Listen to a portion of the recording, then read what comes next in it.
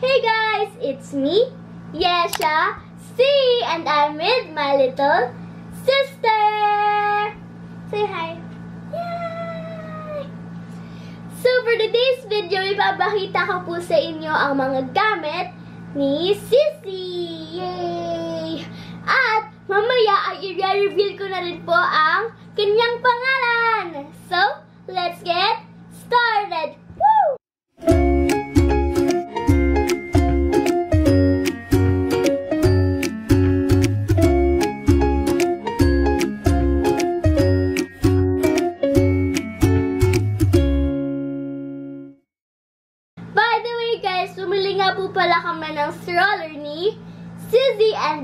What happened. At, at ngayon po, pinihisan po namin si ang aking baby sister.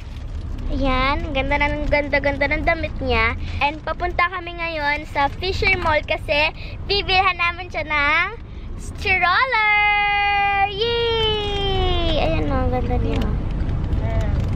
So, bibilan po namin siya ng stroller and I'm so excited!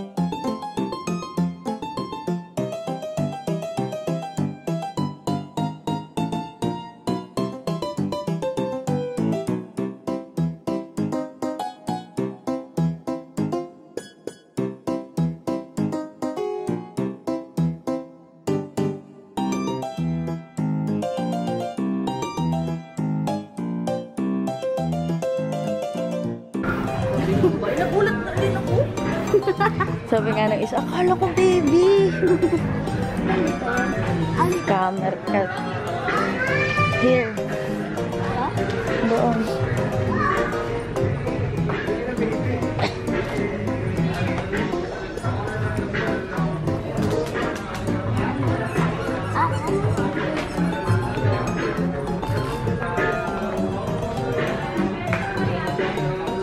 This one.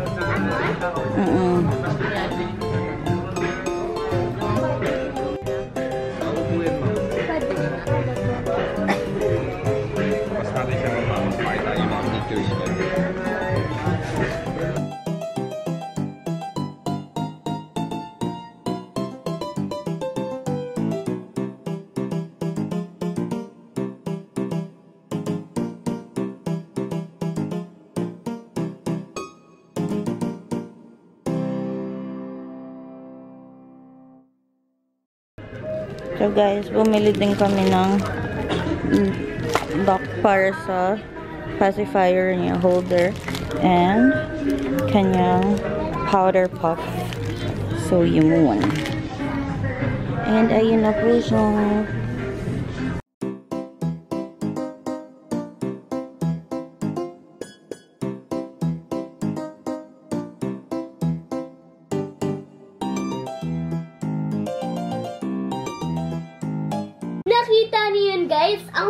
Swerte-swerte ni Sisi ko. Pero syempre, binili lang namin yun kasi sale. Ang, ang laki ang binaba ng price. Kasi from uh, 6,000 naging 2,400 na lang. Kaya sayang naman, ba? At ngayon, it's time para ipakita na namin sa inyo ang mga gamit ni Sisi. Uh, So, una na, una namin papakita ay ang bigay ni Atij kasi syempre, ninang, ninang siya ni Sisi. First item, yan! Ito, ito, ito ay onesie. Ang cute-cute nito kasi, baba muna kita, Sisi ha. Pero hihirapan ako. ang cute-cute niya kasi, ano siya, parang diretso na siya socks. Kaya hindi mo na kailangan mag-shoes kapag suot mo to. Ayan siya guys, ang cute. Tapos yan, mayroong bear na yan. Then stripes siya, black and blue. Next item. See! Sa ito muna. Onesie ulit. Pero ito naman, animals naman yung uh, onesie na to. Ah, hindi siya kagaya nito na diretso socks. Ito, ah, may kita agad yung, magkikita yung skin niya. Tapos kailangan niya mag-shoes kapag sinuot niya to. Yan. At ito, ito naman, ano nga ito, ito parang pajama. Ito pajama. Binigay ito ni Atij kasi red siya. Tapos, yun, cute din siya. Tsaka kasya siya. Kay Sissy. Yun. At ito ang last item na binigay ni Atij. Ito, nireserve ko na to para sa Halloween ni Sisi kasi ayan na may nakasulat, my first Halloween. Kaya bongga siya guys. Ipapakita ko na yung mga binili namin damit. So, ito, wait, dito na lang muna tayo mag-start. Three, ito siya guys, ayan. Meron siyang bib, tapos 350 pesos to. Binili namin to sa Divisoria. Ayan siya. Tapos meron na siyang leggings na kasama. Uh, nung sinukat namin to, medyo malaki siya kay pero okay lang kasi may bib naman kaya hindi makikita yung uh, yung katawan niya. So, ito na. Ito. Ayan. Floral din yung design na guys. Yung ano lang, yung leg. Ah, diretso pala to. Yung same siya ng isang onesie. Diretso pala to na para magiging uh, socks na tapos para magiging shoes. Ayan.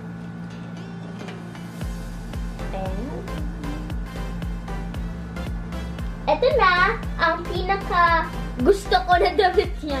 Isa sa mga pinaka gusto. Actually, lahat gusto ko. Pero ito kasi, mura na lang din siya sa Divisoria. Ayan siya guys. Yan o. Mayroon siyang ano, set na siya, 550 pesos. Kasi mayroon din kaming nakitang ganito sa, hindi sa Divisoria, pero mas mahal siya. Siguro 700 plus, I think. Tapos, ito, maganda to kasi yan, may kasama ng kumot. Tapos, mayroon ng bonnet, uh, socks, tapos, ano tawag dito? Mittens. Mittens. At, wait, gusto ko siyang alisin.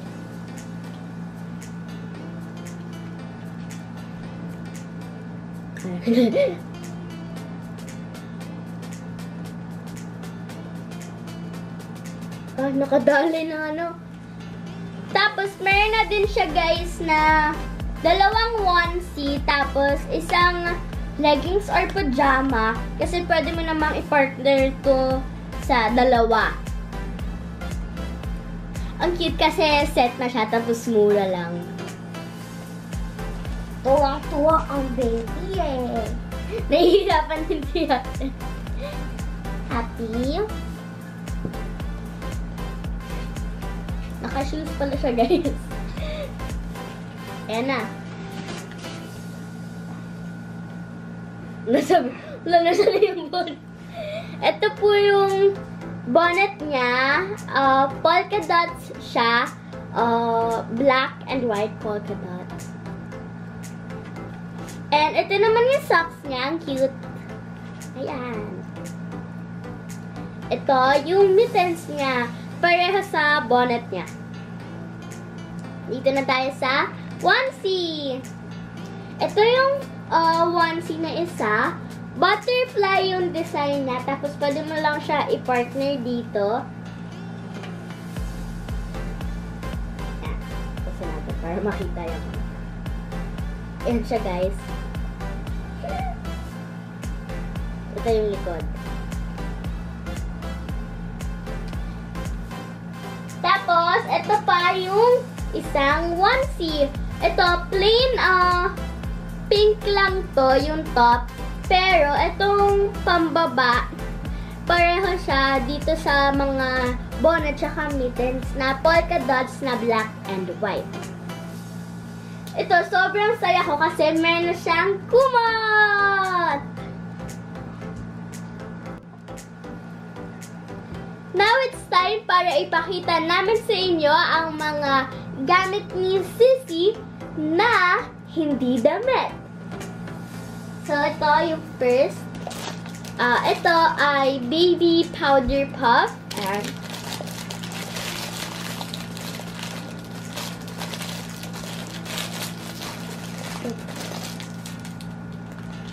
Tutulong na lang tayo kay ate para mas pabilis. Siyempre, kailangan niya ng powder puff para fresh siya. Ang bilis ah. Ito siya guys. Ayan yung lalagyan. Yan. Ang cute. Ayan na. Ah, kita. Ayan natin. Kahit wala pang powder yan. Ay, Wow, so pretty naman. Ayan, ang cute niya. So, ano lang to guys, 99 and 75 centavos sa Fisher Mall. Next, ay, nasan yung ano na? Pacifier na itong batang mali.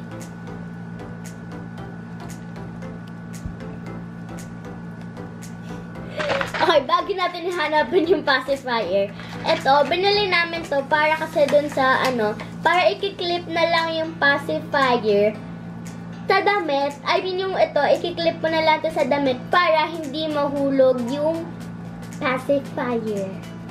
Kasi laging nahuhulog. Opo. Kasi nung sa message, pumunta kami sa mall, tapos nahulog yung ano, tapos isang babae na nagbibigay ng flyers. Tumingin siya sa amin kasi nahulog yun, ginanon-ganon lang namin, tapos binalik agad sa mouth ni Sisi. Ito na guys, nahanap na namin ng pacifier ni Sisi.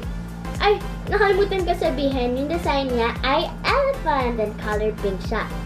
Ganito siya, i-clip mo siya dito. Ganyan. Tapos, ikapit natin. Sisi, nakikirapan ako. Ayan. Ganyan siya, guys. So, ganyan. Para pag mahulog, oh, ganyan, no. Ay, nahulog! Ganon! Hindi yan, hindi siya yung didiretso siya sa floor. Kasi sa yun, baka madumihan. so, suot mo na yan. Yan. Baliktad, Ate Yesha. Sorry mahal. Yan. Oh, eto. Ah, ito ay ang kanyang comb. And this is 60 pesos. Sa Fisher Mall din. Magkano pala ito? 89 pesos pala to guys. Sa Fisher Mall din. Lahat to, bilhin namin sa Fisher Mall. Yan! Ayan siya. Tayo natin isuklay kasi laging magulo yung buhok niya. Wait na, sa likod. Dahan-dahan baka matanggal yung buhok. Ayan, dito tayo sa